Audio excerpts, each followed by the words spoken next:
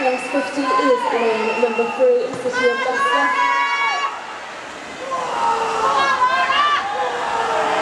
And here, Brianna's granddad there giving his cheer of support.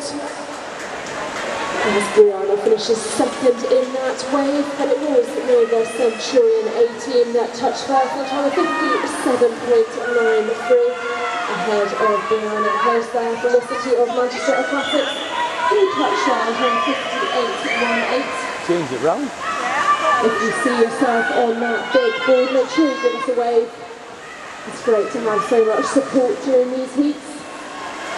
And remember, we have got the 1500s coming up after this.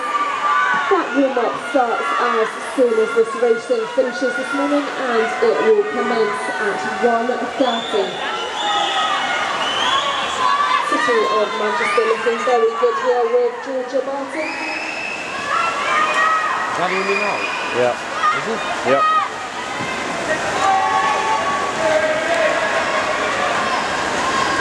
Come on, Amy. City of Manchester turning, well, taking over mm. first at that halfway mark oh, in a time of 155.60.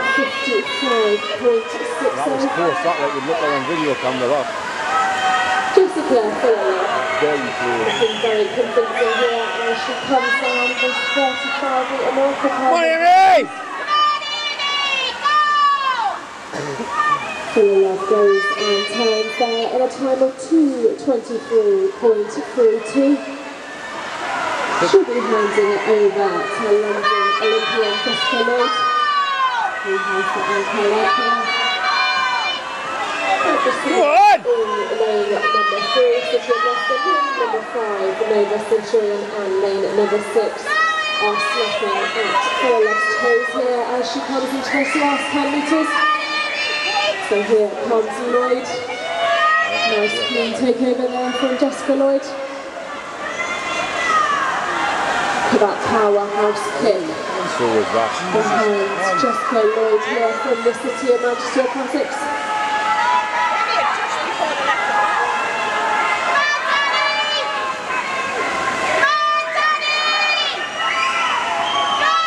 You see that support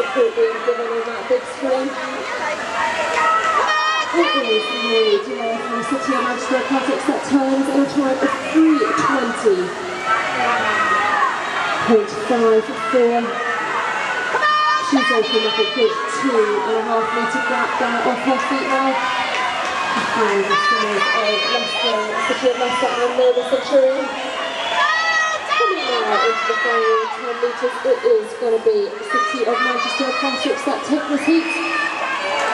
Just below finishing there in a time of 3.50.13. Four seconds inside of their entry time. Second in that heat was Nova Centurion and the City of Leicester coming in there in third.